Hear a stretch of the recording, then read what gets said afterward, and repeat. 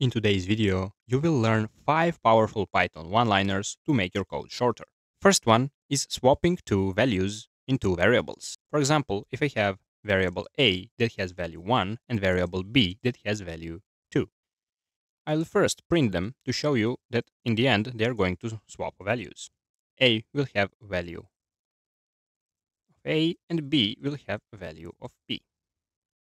To swap two variables in Python, you simply need to write a, comma b, and then to be equal to b, comma a. Now, I tell Python that I want my a to be equal to b and my b to be equal to a.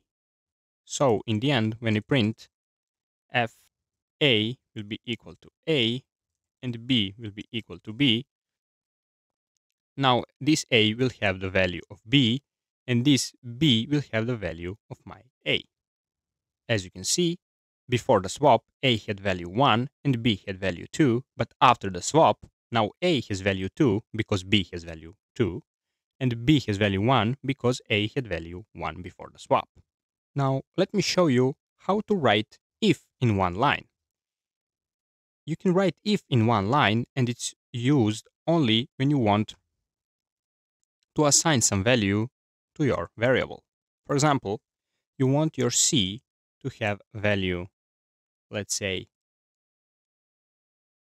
odd if a is greater than b and had has value even otherwise.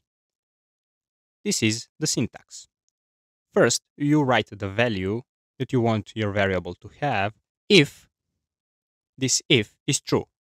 If it's not true, then you write else and write the second value that you want your variable to has if it doesn't satisfy this condition here.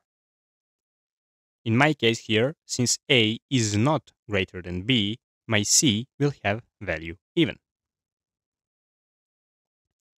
Now when I print c, you will see even. And even is printed. Since I can put if in one line, why can't I put for in one line? And the answer is, of course, I can.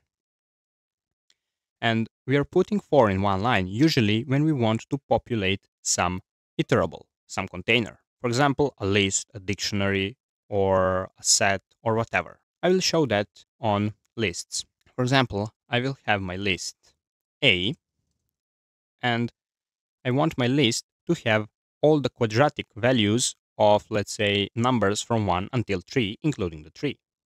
So, I need to write square braces, because this tells Python that A is a list. And first, I need to write the formula, which is A i squared. This is how I write i squared. But my Python doesn't know what i is, and I want to tell him that it is from my for loop. For i in range 1 until 4. Why 4? Because 4 is not included.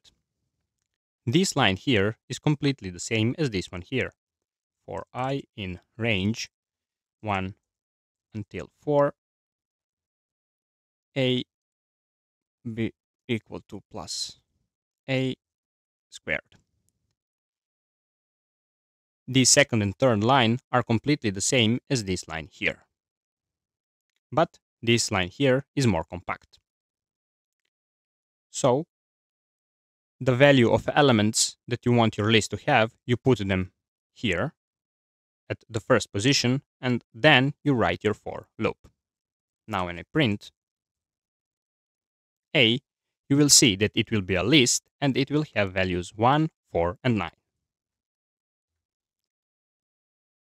Square braces indicate that it is a list, and I have values 1, 4, and 9. Sometimes you have a need to merge two dictionaries. For example, if you have a dictionary 1 that has key A that will have a value 1 and it has key B that will have a value 2. And now I want to have another dictionary I will name it dictionary 2. It will have B, but this B will have value 3. and it will also have C, but this C will have value 4. Now I will merge them in two different ways. I mean, it's the same way, but it's not the same order. You need to write these double stars because that way you unpack your dictionary. When I write double star dictionary, it unpacks it into this. B will be equal to 3 and C will be equal to 4. This is what double star before a dictionary means. So let's quickly write this. Dictionary 1, comma, dictionary 2. D2 will be equal to double star dictionary 2 and double star dictionary 1. Why it's not the same? Because Python first puts all the elements from dictionary 1, which are these two. Then it puts all the elements from dictionary 2. But dictionaries can't have duplicates. So Python says, okay, I will put the last occurrence of your duplicates to have the final value. So this A and B from dictionary 1 will remain, A will remain, but B will not remain. This B3 will be swapped with this one here. So this D1 should have value 1, 3, and 4, and vice versa. When I put first dictionary 2 and second dictionary 1, this one should have value 2, 4, and then 1. Let's print them to show you what I mean. D1 will be equal to D1. Here print F D2 to be equal to D2. As you can see, my dictionary 1 has A, B, and C, but B has value 3. My dictionary 2 has value B, C, and A, but B has value now 2. And the last useful thing I want to show you is how to flatten your multidimensional arrays or lists in Python. For example, if you have a 2D list like this, 1, 2, and 3, 4, and you want to make it to be a 1D list, you need to write this. Sum, and then here pass your list and pass an, an empty list. This will create your one-dimensional array from your two-dimensional array. But if you have a multi-dimensional array, you will need to write two sums. So this sum actually reduces the level by 1.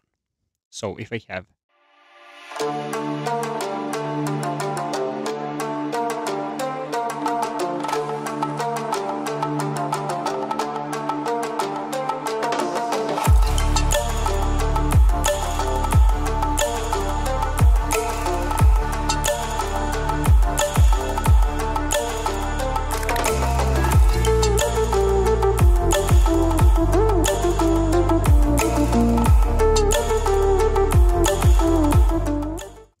A1 from three-dimensional array should look like this. Sum A3 and then an empty list. And here I should do this again and pass.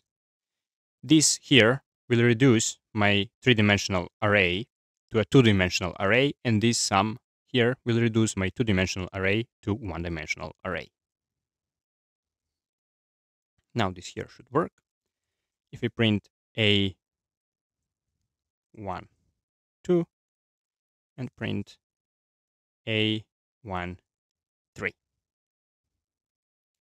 As you can see, my two-dimensional array is reduced to one-dimensional array, and my 3D dimensional array is reduced to one-dimensional array. If you liked these tricks, I've got plenty more waiting for you. Check out my Python tips and tricks playlist. Also, don't forget to subscribe so you don't miss my next videos.